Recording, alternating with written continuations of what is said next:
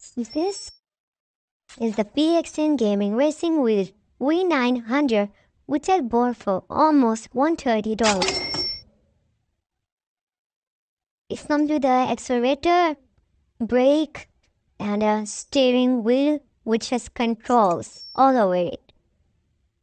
It has sections under it so we can place it anywhere, wherever we want. We actually need a PS4 controller to use it as it is not compatible for PS5 console. As you see, I have connected it successfully from the glass table. Now we will connect the USB cable with the PS4 with the PS5.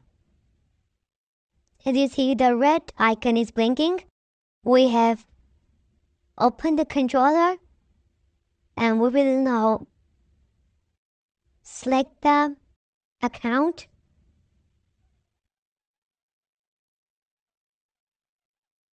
We have selected the account. Now we'll play crew 2 and let's see what happens next.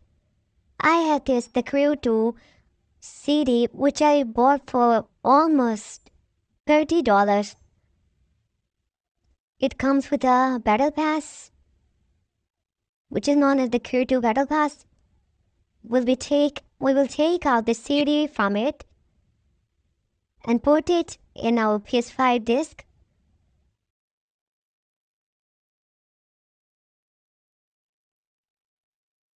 We will press the PS button so it can get connected successfully. As you can see, it has linked. As you can see, there is a USB option at the third last option. As you can see, the accessories option. Now we will play Crew 2. And let's see what happens. Select continue. As you can see, I pressed the accelerator and I'm, you can see it is going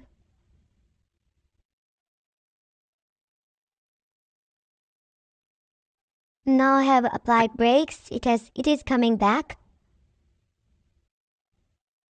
I will use the steering wheel and let you know if it works or not.